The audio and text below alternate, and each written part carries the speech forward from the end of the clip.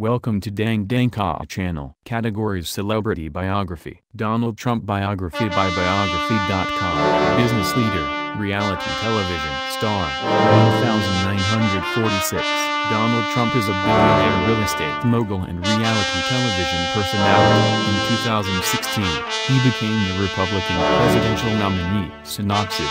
Real estate developer Donald John Trump was born in 1946 in Queens, New York. In 1971, he became involved in large, profitable building projects in Manhattan. In 1980, he opened the Grand Hyatt, which made him the city's best-known developer. In 2004, Trump began starring in the hit NBC reality series The Apprentice, which also spawned the offshoot The Celebrity Apprentice. Trump turned his attention to politics, and in 2015 he announced his candidacy for President of the United States on the Republican ticket. After winning a majority of the primaries and caucuses, Trump became the official Republican candidate for president on July 19, 2016.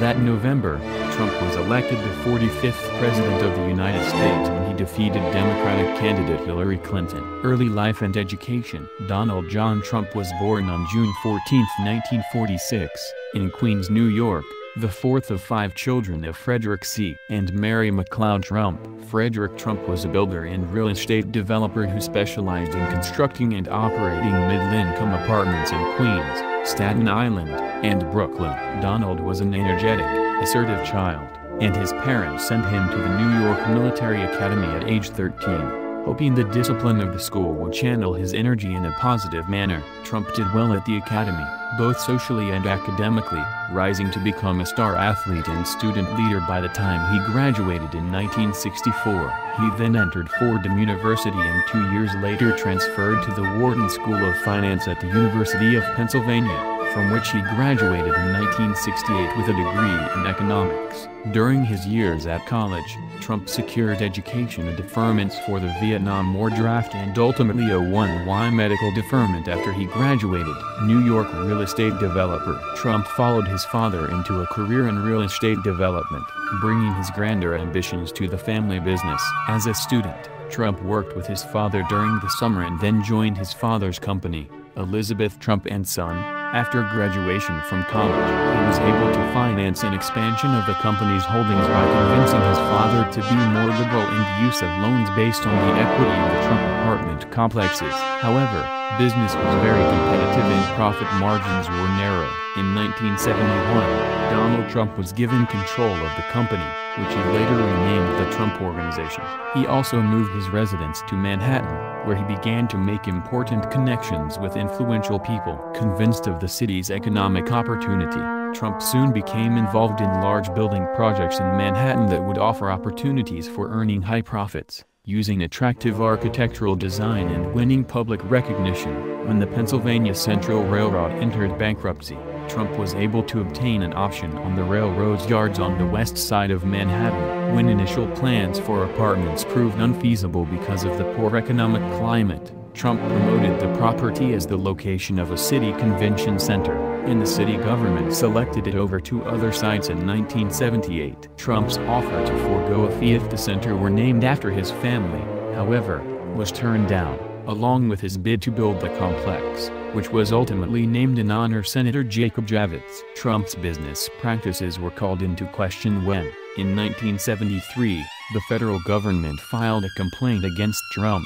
his father and their company alleging that they had discriminated against tenants and potential tenants based on their race, a violation of the Fair Housing Act, which is part of the Civil Rights Act of 1968. Trump responded to the case in an interview published in the New York Times. They are absolutely ridiculous, he said of the Justice Department which filed the case. We never have discriminated, and we never would. There have been a number of local actions against us and we've won them all. We were charged with discrimination, and we proved in court that we did not discriminate. After a lengthy legal battle, the case was settled in 1975. As part of the agreement, the Trump company had to train employees about the Fair Housing Act and inform the community about its fair housing practices. Trump wrote about the resolution of the case in his 1987 memoir Art of the Deal. In the end, the government couldn't prove its case, and we ended up taking a minor settlement without admitting any guilt. Meanwhile Trump had set his sights on making a big splash in commercial real estate. In 1974, he obtained an option on one of Penn Central's hotels, the Commodore, which was unprofitable but in an excellent location adjacent to Grand Central Station. The next year he signed a partnership agreement with the Hyatt Hotel Corporation, which did not have a large downtown hotel. Trump then worked out a complex deal with the city to win a 40-year tax abatement, arranged financing and then completely renovated the building, constructing a striking new facade of reflective glass designed by architect Der Scutt. When the hotel, renamed the Grand Hyatt, opened in 1980, it was instantly popular and proved an economic success, making Donald Trump the city's best-known developer in the process, expanding his empire. In 1979, Trump leased a site on Fifth Avenue adjacent to the famous Tiffany and Company as the location for a monumental $200 million apartment retail complex designed by Der Scutt. Opened in 1982, it was dubbed Trump Tower. The 58-story building featured a six-story atrium lined with pink marble and included an 80-foot waterfall. The luxurious building attracted well-known retail stores and celebrity renters and brought Trump national attention. During the same period Trump was investigating the profitable casino gambling business, which was approved in New Jersey in 1977, and in 1980 he was able to acquire a piece of property in Atlantic City. Trump brought in his younger brother Robert to head up the complex project of acquiring the land, winning a gambling license and obtaining permits and financing. Holiday Inn Corporation, the parent company of Harrah's Casino Hotels offered a partnership, and the $250 million complex opened in 1984 as Harrah's at Trump Plaza. Trump bought out Holiday Inn soon thereafter and renamed the facility Trump Plaza Hotel and Casino. Trump also purchased a Hilton Hotels Casino Hotel in Atlantic City when the corporation failed to obtain a gambling license and renamed the $320 million complex Trump's Castle. Later, while it was under construction, he was able to acquire the largest hotel casino in the world, the Taj Mahal at Atlantic City, which opened in 1990. In 2016, it was announced that Trump Taj Mahal would be closing its doors amid multiple bankruptcies throughout the years and a lengthy strike by workers. Trump himself had lost his last remaining 10% interest in the company for the licensing of his name in March when Carl Icahn took over hoping to save the casino. Back in New York City, Donald Trump had purchased an apartment building in the adjacent Barbizon Plaza Hotel in New York City, which faced Central Park, with plans to build a large condominium tower on the site. The tenants of the apartment building, however, were protected by the city's rent control and rent stabilization program.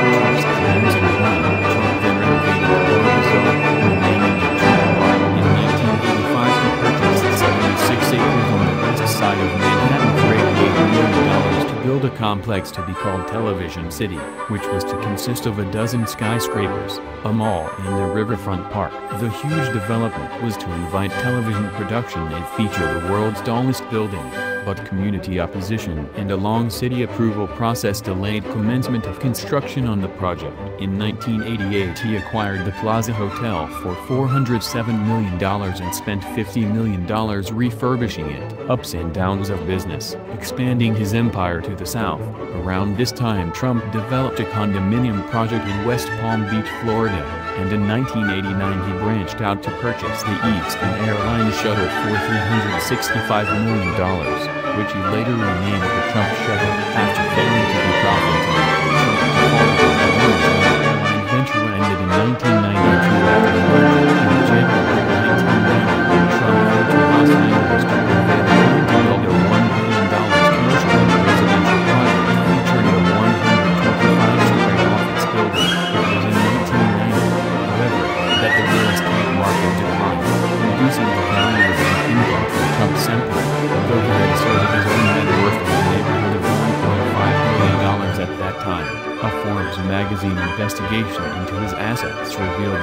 existing debt likely brought the number closer to $500 million. In any event, The Trump Organization required a massive infusion of loans to keep it from collapsing, a situation which raised questions as to whether the corporation could survive bankruptcy. Some observers saw Trump's decline as symbolic of many of the business, economic and social excesses that had arisen in the 1980s. Donald Trump eventually managed to climb back from a reported deficit of nearly $900 million claiming to have reached a zenith of more than $2 billion. However, independent sources again questioned his math, estimating his worth at something closer to $500 million by 1997. In 2000, Trump construction made headlines again when the state appeals court ruled that he had the right to finish an 856-foot-tall condominium. The Coalition for Responsible Development had sued the city, charging it was violating zoning laws by letting the building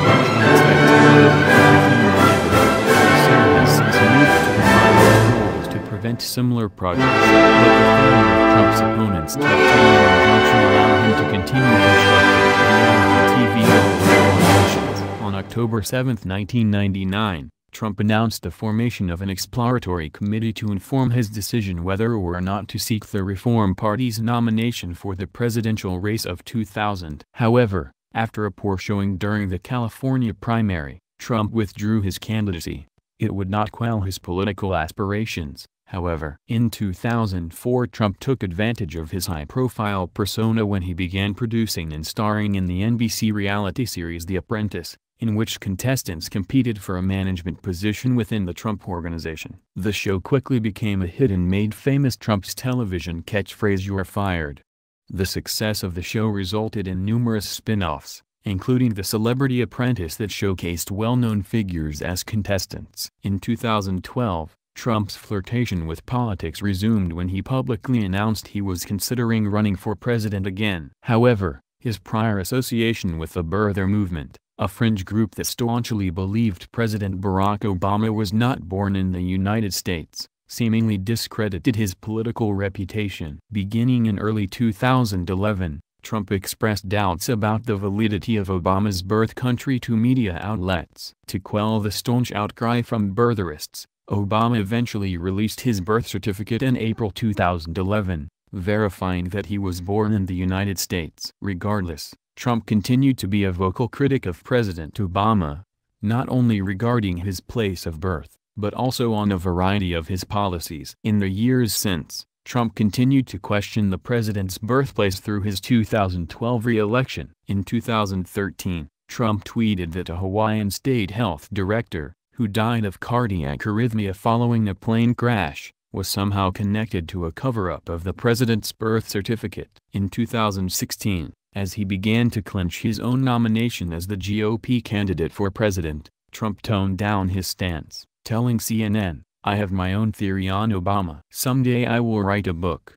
Later that fall, feeling pressure from his campaign advisers to put the conspiracy theory to rest as part of a strategy to appeal to minority voters, Trump issued a statement conceding that the president was indeed born in the U.S. In his statement, Trump also blamed his presidential rival, Hillary Clinton, on the matter. Hillary Clinton and her campaign of 2008 started